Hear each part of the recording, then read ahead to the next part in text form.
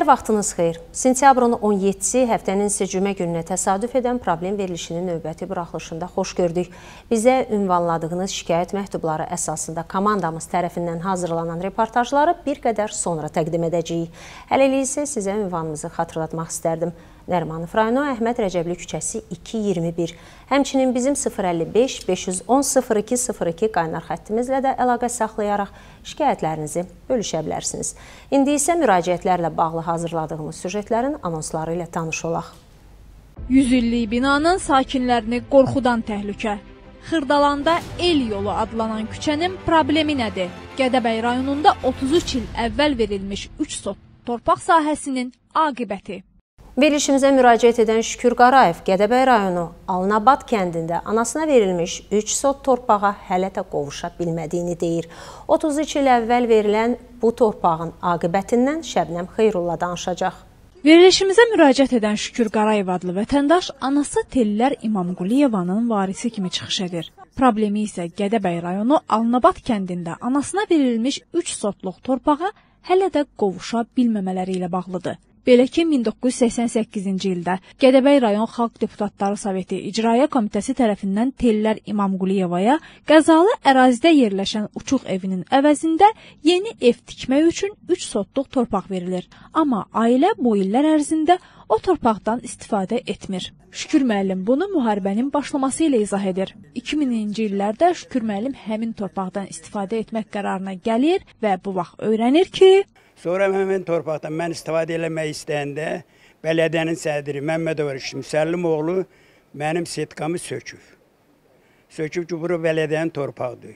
Bu haqda mən məhkəmədə müraciət elədim, məhkəmə aydınlaşdırıb ki, o torpaq bələdiyyənin torpağı deyil, Lesxozun torpağıdır. İndi həmin torpağın yerinə bələdiyyə Məmmədov Rəşid başqa yerdən bana 3 sot torpaq verir. İndi o torpaqdan mən ev tikmək istəyirəm, məni ev tikməyə qoymurlar ki, ora örüş sahəsidir. Qardaşı Böyük Vətən müharibəsində həlak olan, övladı isə 1-ci Qarabağ müharibəsi veteranı olan Şükür müəllim həmin torpağa tam haqqı çatdığını deyir. Məsələyə aydınlıq gətirmək üçün əvvəlcə Gədəbəy rayonu Alnabad kənd icra nümayəndəliyi ilə əlaqə saxladıq. Nümayəndə Müşfiq Əliyev bildirdi ki, bələdiyyə tərəfindən hərrac yolu ilə Şükür Qarayevə torpaq verilərsə, onun sənədləşməsi məsələsində yardım etməyə hazırdır. O ki qaldı kəndin bələdiyyəsinin rəyinə, sədr Məhəmməd Əliyev bildirdi ki, hazırda Şükür Qarayev kəndin sakini hesab olunmur. Problemin kökü isə 1988-ci ildə verilmiş torpaqdan vaxtında istifadə edilməməyindən qaynaqlanır. Müstəqillik illərində aparılan aqrar islahatlar zamanı həmin torpaq örüş sahəsi kimi tanınıb. Hazırda isə bələdiyyənin balansında ev tikmək üçün hər hansı bir sahə yoxdur. Vətəndaş bu kənddən torpaq sahəsini yalnız alqı-satqı yolu ilə əldə edə bilər. Məhəmməd Əliyev söz arası onu da qeyd etdi ki, Şükür müəllim vaxtı ilə təhlükəli zona olaraq tanınan həmin ərazidə yerləşən evi çox gözəl bir şəkildə təmir edib. Yay aylarında o evdə heç bir problem olmadan yaşayır. Həmkarım İlkin Abbas Xırdalan şəhərin Bəşir Səfəroğlu küçəsinin sakinləri ilə görüşüb. Onlar xalq artistinin adını daşıyan yolun təəssüf ki, yararsız vəziyyətdə olduğundan gileylənirlər. Abşeron rayonu Xırdalan şəhərində sakinlərin el yolu adlandırdığı bir küçə var. Əslində küçə Bəşir Səfəroğlunun adını daşıyır. Amma küçə qəbirstanlığa gedən yolda yerləşdiyi üçün belə adlanır. Sakinlərin problemi də elə bu yolla bağlıdır. Gördüyünüz bu sakinlər qış gəlməmiş el yolunun problemlərinə əncam çəkmək istəyirlər. Sakinlərin qışdan da çox qorxduğu isə bayram günlərinin gəlməsidir. Onların sözlərinə görə bayram ərəfələrində Xırdalandan və ətraf kəndlərdən hamı məzarlığa doğmalarını ziyarət etmək üçün bu küçə ilə hərəkət edir ki, nəticədə əsl problem yaranır. Bir maşının güclə hərəkət etdiyi bu darısqal yolda əks istiqamətdən başqa bir avtomobil gələndə yaşananları təsəvvür etmək çətin olmamalıdır. Burada yaşayanlar bilmirlər bayrama hazırlaşsın, yoxsa məhəllədə olan vəziyyətlə mübarizə aparsın. Məhəllə daxili yollar dar ensiz olduğundan maşınlar keçən vaxt burada piyadanın hərəkəti mümkünsüz olur. Səhər saatlarında hamı işə məktəbə gedəndə isə burada əməlli insan seli müşahidə olunur. Oğlum bax bura el yoludur. Bura gəlmək olmur, sıxlıq olur. Vəsə nə yayda gəlmək olur, nə qışda gəlmək olur. Qışda gəlir cəmaət palçığa bata-bata. Elə biz özümüz də gəlib gedə bilmirik. Evdə körpə uşaqlar var. Bayram vaxtlarında bura çox sıxlıq olur. Gəlib getmək olmur. Qəbristanlıq yoludur, qardaş, el yoludur bu. Qəbristanlığa gəlib gedənlər var, doğmaları ziyarət edənlər var, şəhid qəbirləri var yuxarıda. Maşınlar hamısı sıxlıq yaşanır. Bir-iki dəfə də elə yolun ortası çökmüşdü. Maşınlar da düşdü. Orada maşını zədalan da oldu. Məhəllədə olan yolun təmirsiz vəziyyətdə olması da sakinlərin narahatlığını artırır. Sakinlər özləri necəsə bu yolu normal hala gətirməyə çalışıblar. Təbii ki, bacardıqları qədər. Xəstə adamın hamımız bu yolla piyada gedirik, aptekə gedirik, dərman almağa gedirik və yaxud da uşaqlarımız, körpə uşaqlar da məktəbə gedir, bağçaya gedir.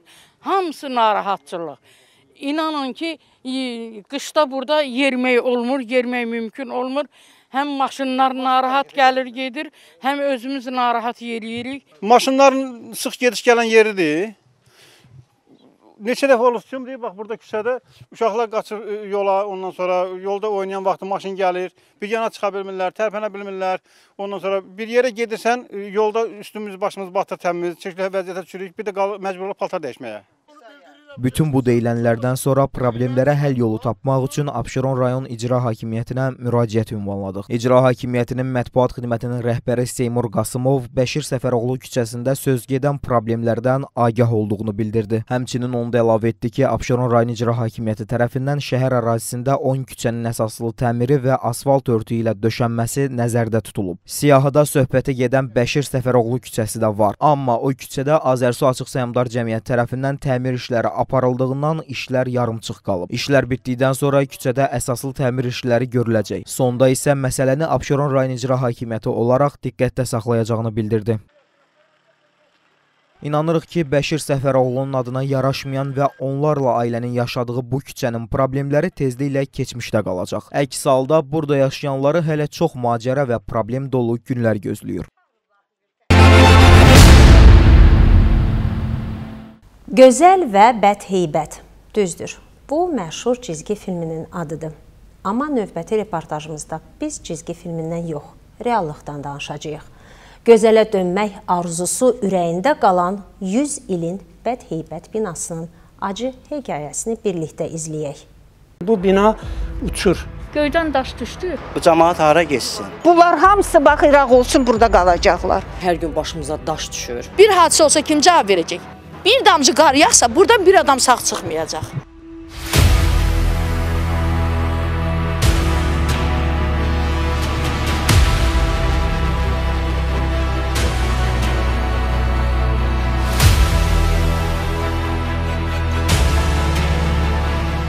Bura paytaxtın mərkəzi küçələrindən biri Zivər bəy Əhmədbəyev 63-dür. Azərbaycan Xalq Cümhuriyyəti elan olunduqdan sonra Bakı şəhərinin baş memarı, özü də ilk ali təhsilli Azərbaycanlı memarın adını daşıyan küçə bu gün uca göydələnləri, gözqamaşdırıcı reklam lövhələri, maşınların susmaq bilməyən siqnalı ilə seçilir.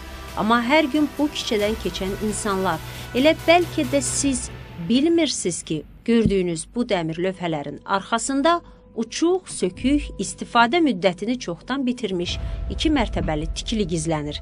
Təzadlı bir mənzərə. Göydələnlərin gözəlliyinin seyrinə mane olan və daha çox xarabaya bənzər bir ev. Zivər bəy Əhmədbəyev küçəsi 63 ünvanında yerləşən binadayıq. Bu bina təxminən 1850-ci illərdə tikilib. Bu binada təxminən 17 ailə yaşayır. Onlar hər səhərini Allaha şükür edərək açırlar. Gecəni isə Allaha dua edərək yatırlar ki, səhəri salamat açsınlar. Təəssüf ki, onların yaşadığı bina olduqca qəzalı vəziyyətdədir. Yarı uçmuş tavan, çürümüş taxtapol, xəstəliyə səbəb ola biləcək kif basmış divarlar rütubət qoxan otaqlar. Sakinlər deyir ki, həyatları hər an təhlükə ilə üz-üzədir. Zamanında bu ərazi Bakı şəhər icra hakimiyyətinin balansından çıxarılaraq tikinti şirkətinin icarəsinə verilib. Burada 2 yeni tikili ucaldılmalı idi. Göydələnlərdən biri artıq inşa edilsə də, bu köhnə tikilinin sökülməsi dayandırılıb. Burada yaşayanlar neçə yerə müraciət etsələr də döydükləri qapılar üzlərinə bağlı qalıb. 1960-cı ildən qardaşının bu binada yaşamasını deyən Sevinç Məmmədova bildirir ki, artıq burada yaşamaq mümkün deyil. Səbəbi 2016-cı ildə mənzillərinin tam tökülüb dağılmasıdır. Dekabrın 2-si 5 il olacaq ki, mənim qardaşım burdan məcburi köçdü. Nəyə görə? Səhər-səhər durdular, çöküb ev. Ev çöküb nədir? Divarlar, bir də e, indi ge- gedəcəyik çəkərsiz. Hamısı uçub. Yaxşı ki o günü, o axşamı o evdə, o otaqda yəni heç kim yatmır. İraq olsun üzümüz qışa gedir də. Bir dənə leysan, bir balaca yap. Bunlar hamısı bax İraq olsun burada qalacaqlar. Mümkündür. Hətta e, icra hakimiyyətdən də gələndə 2 nəfər cəmi bura qalxa bildilər. Nə götürə bildik, bildik. Sonra yuxarıdan gəliblər, bütün evimizi aparıblar. Bu da qonşular bilirlər. Heç nə qoymayıblar evdə. Mən istəyirəm sizə yanı göstərdim, vəziyyət nə gündədir. Bax, 4 ildir. 5 5 il olacaq dekabrda. Zəhmət olmasa oranı da çəkək. Əsas bəza burada oldu. Baxın. O səma görünür, hər şey dağılıb. İçində nə qalıb, içində nə qalıb. Hər şey sonra bomjlar gəldilər, apardılar. Yəni qəzalı vəziyyətə düşdüyünə görə hər şey belə tökülüb, sınıb, tökülüb, dağılıb. dağılıb. Bir bir e, saniyənin içində. Bu bina uçur. Bunun bu gün uçar, sabah uçar bilmək olmur. Ona görə də mən ikinci evladımı burada itirmək istəmirəm. Ona görə bir şəhid, şəhid atası kimi mən xahiş edirəm ki, buna əlaqədar təşkilatlar bir əncam çəksinlər. Heç olmasa biz bilək ki, onlar sağ-salamat sabaha çıxdılar. 91-ci ildə burada yaşayırıq. Ee, biz bura gələndən elə deyirdilər ki, buranı sökəcəyik, sökəcəyik. Elə gəldi ki, bu şirkət, bu şirkət gəldi, çıxdı. Ee, dedi ki, 4-cü mərtəbənin tikincən e, sizi köçürdəcəyik. Bizdən dokument yığdılar bunlar. Hə, bir, bir, bir dəyə-dəyə uzatdılar. E, gəldi, çıxdı bu vəziyyət. İndi e, şirkət deyir ki, mənim imkanım yoxdur. Nə tikməyə, nə sökməyə. Tihmisən, Allah xeyir versin. Cəmaatı yerləşdir. Ondan sonra özün bilərsən, torpağı almısan. Bu cəmaat hara getsin? Nətər yaşasın? Mümkün deyil yaşamaq. Hə. İndi bunlar da e, deyir ki, hələ biz fikirləşirik ki, görək orada nə tikəcəyik. Dokumentləri yığdılar bizdən, allatdılar. Getdilər Baksovetdən, dedilər ki, orada, deyiblər orada. Kim bəs e, cəmaat orada yaşayan cəmaat razıdılar. Torpağımı. Hə. İndi alıb oturubdu, qoyub satdığa. Heç kim də ala bilmir. Elə bir qiymətə qoyub ki, yaxın gələn də yoxdur. Gələcəkdə hər hansı bir bədbəxt hadisənin qaçılmaz olduğunu anlayan sakinlər imkansızlıq səbəbindən burdan nə digər yerə köçə, nə də kirayəyə çıxa bilirlər. Bu həyətin sakiniyəm, gəlin gəlmişəm bura. Evlər elə gələndən qəzalı vəziyyətdədir. Bilmirəm neçənci ildə Bakı şəhər e, idarəsi buranı qəzalı vəziyyət kimi təqdim eləyib, qiymətləndirib, bəli. Yəni biz heç nə eləyə bilmirik. Keçən il 2020-ci il mart ayının 23-də səhər saat 10-11 radələrində bizim evdən yuxarıda biz yüngülvari təmir eləmişdik. Dəfələrlə mən gedib kirayə qalırdım kirayə qalmışam, statiskanın yanında qalmışam. İndi hal-hazırda Hövsanda qalıram, kirayə qalıram. Bu evdə yaşamaq qeyri-mümkündür. Göydən daş düşdü. Allah eləməsin. Bax oğlumun başına bir 2cə saniyənin söhbəti olardı ki, o düşsə nə olardı? Yağış yağanda oradan elə bilin şəlalə axır. E, dəfələrlə icra hakimiyyətindən nümayəndə gəlib, özü girmədi, yanındakı nümayəndəni saldı yoxlamağa. Yəni mən arzu eləyərdim ki, necə ki siz həyatınızı təhlükəyə atmısınız, bu cürə qəzalı evə gəlib baxı, baxış keçirdiniz. Ancaq icra hakimiyyətinin nümayəndəsi valla Allahın olsun gəlmədi. Biz oca burada 20 20 ildən çox yaşayırıq, amma elə bil ki bizim babamız, bizim nənəmiz elə burada qalıbdı. Elə çünki 1800-ci ilin evidir. Çox pis gündədir. Qırışasıdır hər şey. Bu təmir eləməyə heç ədəti yoxdur. Çünki burada vurulsan, buradan qonşu qışqırır ki, divarım uçur. Mümkün deyil, hər gün başımıza daş düşür. İmkanımız yoxdur arası gedək kirada qalaq. Çünki atam ki təzyiq rəhmətə gedib, mən anam, bacım oxuyur, bir də qardaşım. Buradan su axır hər yerdən. Başımıza elə ki, hər il mən bura krışırı bir şey vururam, xeyri yoxdur, yanında qalır. Elə ki, belə vəziyyətdə yaşamaq mümkün deyil də. Hər gün təhlükəli. E, balkondan keçirsən, natsıpıçqıq keçirsən ki, heç nə şey sirkələnməsin, qonşular oradan qışqırmasın. 60 ildir mən bu küçədə yaşayıram. Zivər bəy Əhmədbəyov, köhnə Qubanov deyəlim. Bir damcı qar yağsa buradan bir adam sağ çıxmayacaq. Səhər burada İraq olsun, Allah qorusun. Bir hadisə olsa kim cavab verəcək? Fövqəladə məktub göndərib. Bir mənə yox, bütün bu məhəllənin millətdəki evi boşaldın. Hara boşaldıq evi? Sakinlərin qorxunc kabusuna çevrilən binanın aqibətini bu ərazinin icarədarından soruşduq.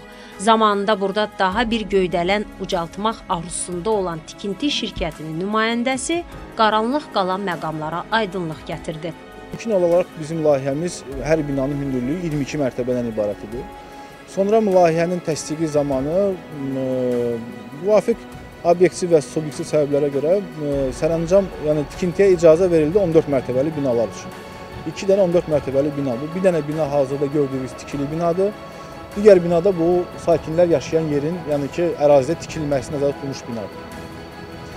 Və biz bu birinci binanı belə deyək də tikintisini yekunlaşdırdıq və tikinti gedən zamanı bu son illər ərzində şəhərsalma qanunvericiliyində dəyişikliklər baş verdi və bugünkü belə deyək də mövcud qanunvericiliyin tələblərinə görə bu həminki ərazidə söküntüyə məruz qalacağı ərazidə 7 mərtəbədən çox hündürlüyü 7 mərtəbədən artıq olan binanın tikintisinə icazə verilmir. Və biz müvafiq olaraq yəni ki bu sakinlər müraciət elədi və yəni biz də icra hakimiyyətinin sərəncamının icrasını həyata keçirmək məqsədi ilə sakinlərlə görüşdük və burada hazırda 46 ailə belə deyək də qeydiyyatdadır. Əlbəttə ki, 46-sı da yaşamır burada. Ancaq faktiki olaraq 46 subyekt var, köçürülə, köçürülmə nəzərdə tutulmuş. Və onlardan təxmini 40 ailə, 41 ailə bizlə görüşə gəldi. Yəni görüşdük, görüşdük. 5 ailə ümumiyyətcə 5 mülkiyyət sahibi belə deyək də, ailə deməsə 5 5 mülkiyyət sahibi ümumiyyətcə görüşə gəlmədi. Ancaq 41 ailə ilə biz görüşdük və o 41 ailənin içində deməli təxminən aşağı-yuxarı 35 ailənin təklifi, yəni ki, bu ərazini kompensasiya alıb tərk etmək üçün tələbi bugünkü reallıqdan qat-qat yuxarıdır. Misal üçün bir ailəni mən nümunə gətirim. 13 kvadrat yeri var. 13 kvadrat yeri bölüb öz 3 oğlunun arasında və bir özü ata. Deməli 13 kvadratın mülkiyyətçisi bugün 4 ailədir. Və tələbin və mülkiyyətçinin tələbi ondan ibarətdir ki, mənim burada 4 ailə var qeydiyyatda. Faktiki bir ailə ancaq özü valideyn yaşayır. Biz burada bizim hər ailəyə belə deyək də 13 kvadrat yerin müvafiq 4 dənə mənzilin dəyərini ödəyir və biz buranı tərk edirik. Yəni ki, bu 13 kvadrata əgər biz yəni ki, Bakı şəhərində və bu ətrafda mənzili də yəni ki, bu ətrafda istəyir. Yəni ki, Bakının kənarında, Abşeron rayon ərazisində istəmir. Yəni ki, burada ümumiyyətcə bir obyekt sahibi var, böyük obyekt var. O ümumiyyətcə deyir ki, mən köçmək istəmirəm, mən buranı icarəyə vermişəm, mənim bu gün vəziyyətim köçmək istəmirəm.